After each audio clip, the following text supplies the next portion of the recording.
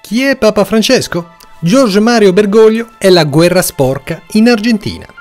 Papa Francesco non ha elaborato le cause profonde dell'oscurità, né ha riconosciuto la all'interno della Chiesa cattolica. Dall'inizio del suo mandato vaticano nel marzo 2013 fino alle rivelazioni dello scandalo sessuale all'inizio del 2018. Sì, avete capito bene, scandalo sessuale all'inizio del 2018.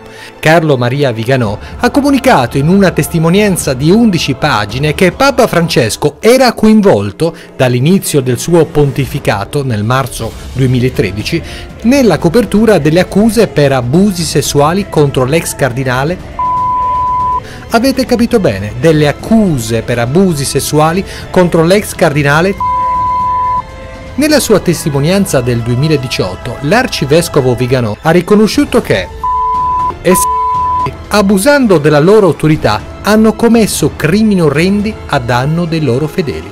Minori, sì, dei minorenni, vittime innocenti e giovani desiderosi di offrire la loro vita alla Chiesa e con il loro silenzio non hanno impedito che Le dichiarazioni dell'arcivescovo Viganò, che rimangono ancora da confermare, contro Papa Francesco riguardano dei presunti abusi, inclusa la pedofilia, sì, la pedofilia, commessi all'interno della Chiesa cattolica, per cui Papa Francesco aveva casualmente chiuso un occhio. Prima della sua elezione nel conclave pontificio, il ruolo di nella guerra sporca argentina è documentato e noto al Dipartimento di Stato degli Stati Uniti. Giorgio Mario Bergoglio non solo ha sostenuto la dittatura militare, ma è stato anche complice svolgendo un ruolo diretto nella guerra sporca, insieme alla giunta militare guidata dal generale George Videla che ha portato all'arresto, alla detenzione, alla tortura e alla scomparsa di preti e laici cattolici progressisti contrari al governo militare argentino. I sopravvissuti alla guerra sporca accusarono apertamente, con un articolo pubblicato su El Mundo, il cardinale George Bergoglio di complicità nel rapimento dei sacerdoti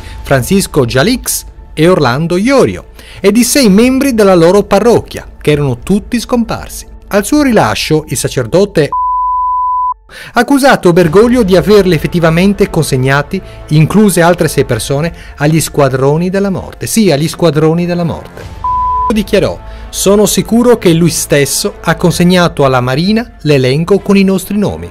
Maria Marta Vasquez, suo marito Cesar Lugones e Monica Candelaria, presumibilmente consegnate agli squadroni della morte dal gesuita provinciale Giorgio Mario Bergoglio. Sono tra migliaia di desaparecidos quindi le persone che sono scomparse, della guerra sporca, argentina. Chi è Giorgio Mario Bergoglio?